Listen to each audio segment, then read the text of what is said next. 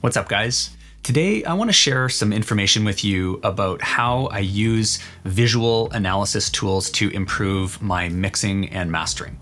And I've been using visual tools for a long time as an engineer. One of my favorites is the free Voxengo Span. A lot of you will have heard of it before. There's a ton of tutorials out there already on Voxengo Span, and I'm definitely not trying to reinvent the wheel here. What I hope to share with you guys is something new and unique that I haven't seen covered yet in a tutorial. So if you want to look at the basics of Voxengo Span and how to set it up, I highly recommend the tutorials by Dan Worrall and by AHEE. I'll link both of those below in the description for you. So let's just first talk about why you might want to use a visual tool like a spectrum analyzer to help you get better mixdowns.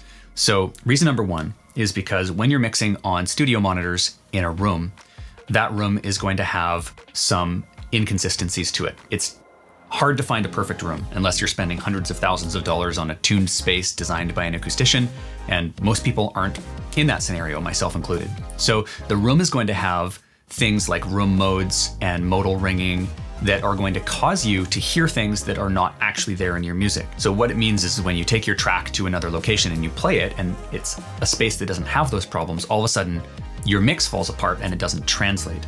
So that's reason number one. Reason number two is because of the filtration effect that happens in the human brain. We've probably all had a friend that lives next to an airport or a railway line, and we go over to their place and we're like, doesn't that bother you, that crazy loud sound? And they're like, what? And the reason for that is because the human brain filters out repetitive sounds that it doesn't perceive as a threat so that it can prioritize processing power for new and novel sounds that might be a threat.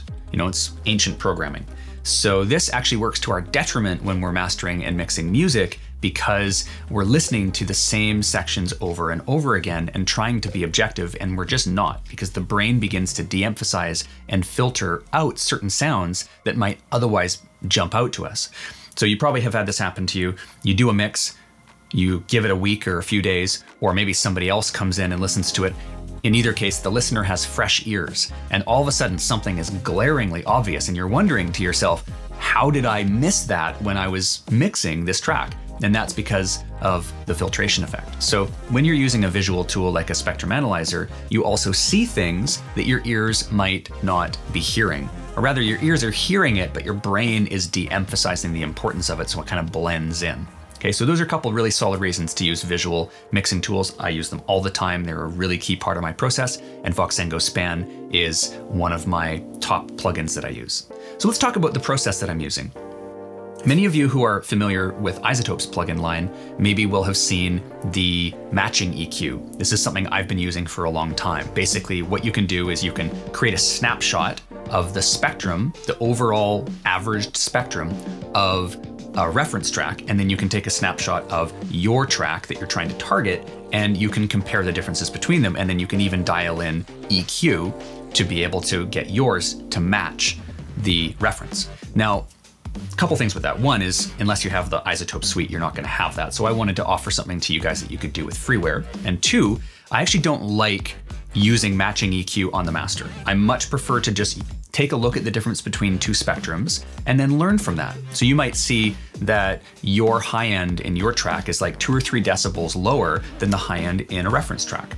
Do you always want to match a reference track exactly? No, you have your own unique mix. It might have different elements in it, but it is really useful to see if some area of your track is out when compared to even several reference tracks. So it's really useful to take a look at your spectrum versus another track spectrum. And this was always difficult to do unless you were using the iZotope matching EQ. Voxengo Span allows you to put it as an insert on something and you can see it dancing around and you can kind of look at the spectrum of a reference track and then you can look at another copy of Voxengo Span and look at yours, but you can never see them overlaid. And that's what I want to show you guys today. There's a way of overlaying one spectrum from your track over another spectrum from a reference track and looking at the differences between them. And in particular, I also dial in some settings on span where you're not looking at these momentary bouncing parts because you might see a kick drum coming in and spiking and then it goes away. What I like to look at as an engineer is the averaged spectrum so that it sums over time and you're looking at say your drop as a whole versus the drop of the reference track as a whole. So let's get into it. I want to show you guys exactly the settings that I'm using in Span. I want to show you the routings and the process to be able to get that. I'm going to be demoing this in Ableton Live, and there's actually something brand new in Ableton Live that allows a really amazing routing that makes this super easy. So regardless of whatever DAW you guys are on, you'll get something out of this. And without further ado, let's get into it.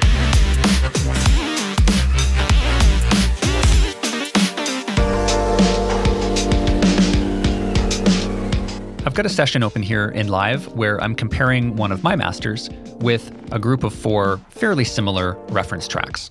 There's differences between them, and I wanted to get a feel for how they compare as a group with what I've done on my mix and master. So I've got Voxengo Span as an insert on my master, and I've got all the settings dialed. I'm going to walk you through step by step how to do this, but to start, I just wanted to show you what we're going for.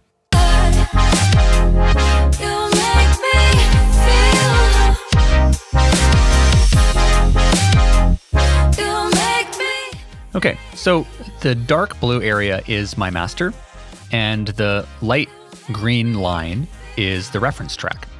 So let me just delete span, and we'll rebuild everything from scratch. One thing I want to point out first is that I have looped up the drop of my master, and then I've aligned the drop or the heaviest sections, the chorus, if you will, of the reference tracks to be at the same location. So when I'm referencing everything back and forth and looking at span, it's the chorus or the drop of the tune that I'm comparing. And that's really important because if you just let them go unsynced like that, you might be comparing the verse or uh, a breakdown of one track to the drop or the chorus of yours. And obviously, they're going to look wildly different at that point. So let's go ahead and drop span in. I'm using my collections up here for Live 10, and I have analysis tools all kind of as shortcuts, which is a good thing to do. So we're dropping in span.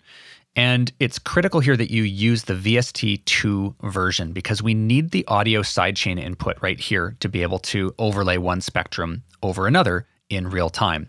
If you grab a different version of span, it won't have it. So this right here is the AU version of span. And if we drop that in, you'll notice there's no audio sidechain input. So critical that you're using the VST2 version, which maybe is why I haven't seen anybody else do this technique before. It's a little hidden. And one thing I will also say is that the manual on this, given that it's a freeware plugin, is pretty sparse. There's a lot of stuff that I was trying to figure out by reading the manual, and it's really light documentation that doesn't cover a lot of the stuff that I'm about to cover. So let's quickly go through how to tweak span to get it to look the way that I was just showing you. Here's how it looks in its default state.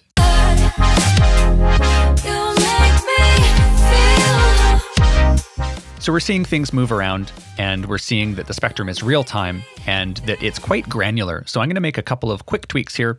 One, I'm going to change the block size to 8192 and I'm going to activate some smoothing. So we just do that in the gear icon for settings right here. And let's take a look at what this looks like.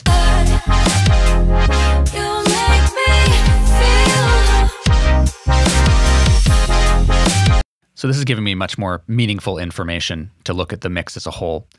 The next thing I'm going to do is activate long-term averaging. So right here under the type, we can see we're on RT, which stands for real-time average. You have a bunch of different options here, but AVG means long-term average. You'll see the averaging time parameter is grayed out now. And this will create a permanent frozen spectrum, which is what I'm looking for here.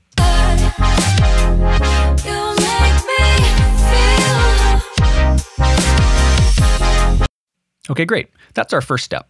And then you can change the color if you want. I usually make my master blue. That's just me.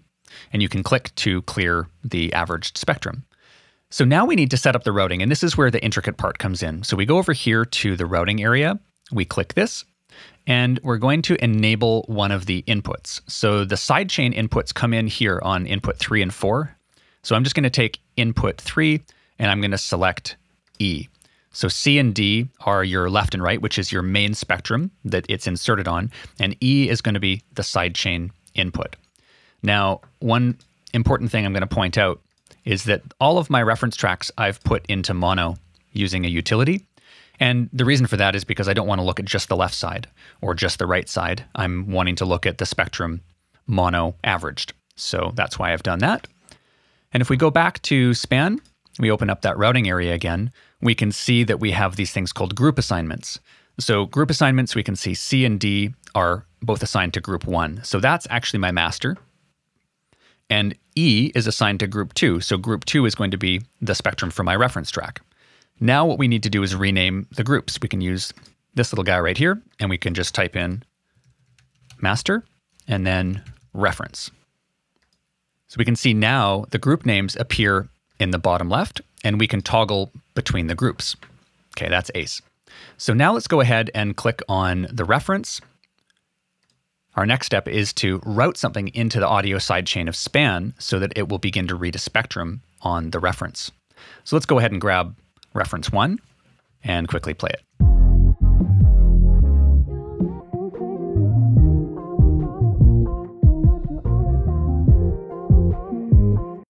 So we can see we're getting a signal, which is great. So now let's go through our settings here and quickly make them the same as my original main spectrum on the master. So block size 8192, we're going to add that third of an octave smoothing. We're going to change the spectrum from real time to average, and that should get us something very similar. Okay, great. So now we can change the color. I usually like uh, something like this. And if we go flip back to our master, now we will be able to see them. But there's one extra step you need to take here. You can, from each spectrum, you can create an underlay. So you can see from the master, I can choose the underlay of the reference. And now I see them over top of each other, which is exactly what we want. I usually go back to the reference and open up the settings again. And instead of making it a filled display, I make it a line. And that just makes it a little easier for me to compare and see which one's the master and which one's the reference. So now we're seeing something similar to what I started with.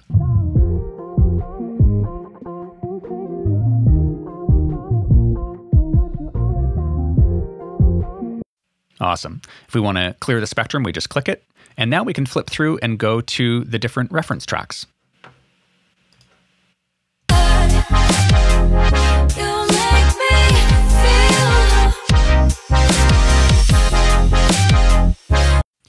Great. So you can see that they are moving and you usually want them to stabilize. So I play them through usually about eight bars and that will capture enough of information into the snapshot where they really do stabilize and give you a general impression of what the mix is doing at that point in time.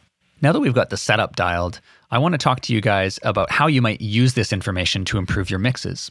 So let's grab the reference number two and compare that with my master. Okay, so we've got the spectrums in, and we can begin to analyze the differences between the tracks. So one of the things that you'll see is that the tracks are written in different keys. So you're seeing the bass peak at a different frequency point. That's normal, that's fine. We're seeing that the bass levels are roughly the same. They're quite close to each other. And then we're seeing that everything in the low mids all the way up to the upper mids is actually conforming really nicely. But then you see things diverge up top when we get north of about 2K. We can see that my master actually has a significant amount of high energy that is not there in the reference track. And now you have to make the determination is is this something that I need to correct about my mix? Is this actually an error? Or is this something that's unique about my arrangement that I have, how I've set up the track, and is it something that I'm comfortable with? And in this case, because my track features a female vocal that has a lot of air in it. I've intentionally boosted the top end of the mix, particularly with her vocal.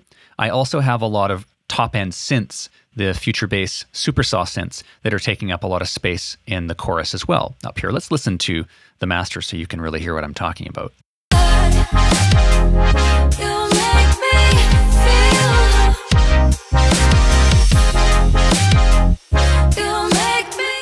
That's a difference that I'm actually comfortable with. I wanted this track to be brighter. I wanted the top end of the vocal to be more prominent. I want people to hear all of the lyrics, and the vocals really are the feature element in my song. So I'm not going to dig into things much deeper than that. We've um, discovered some cool ways to look at the spectrums of reference tracks. And what you do with that information is up to you as an engineer. It's a personal and unique decision, but now you can at least pretty objectively compare without worrying about problems with your room or the acoustic response of your speakers and really get scientific about how your tracks are looking from a spectrum perspective against reference tracks.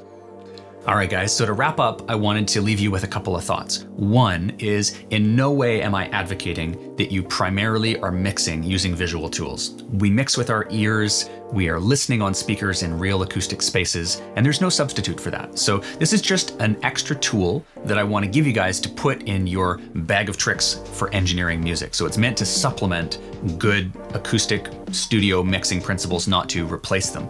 You know, absolutely I want you guys to continue to invest into your rooms, get acoustic treatment, upgrade your monitors, reference your mix in headphones, use all of those tools and always be improving your setup. But this is a great addition to your workflow.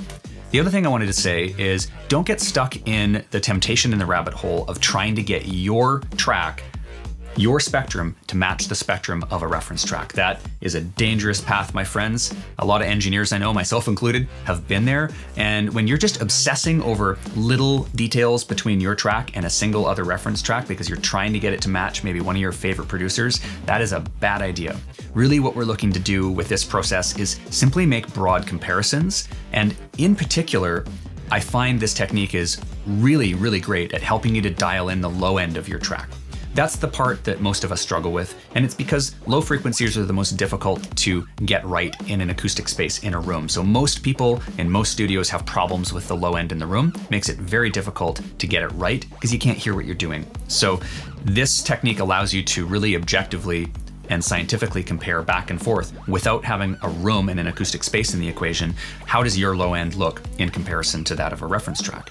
And rather than comparing to a single reference track, it's great to compare to several reference tracks that all are in the same genre and of the same style. So that way you can make general comparisons between your work and the work of other producers and engineers. Awesome. So I hope you guys are feeling super inspired to use this in your own music. I've dropped some sweet links below the video for you so you guys can grab Span if you don't have it and check out some of the other tutorials. Hope you guys are just doing great and working on music, and I really hope to catch you in the next video. Peace.